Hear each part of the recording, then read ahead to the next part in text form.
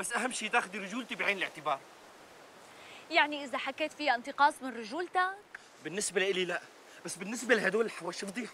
بيقولوا إنه مرته حاكمته شعوب شرقية نحن ما بتبقى من الحضارة. طيب رح أقدم تنازلات قد ما بقدر مشان نحافظ على بيتنا. والله والله لو كنا بالبيت والشبابيك مسكرة والبرادي مرخية كنت بستك من بين عيوني. طيب حبيبي.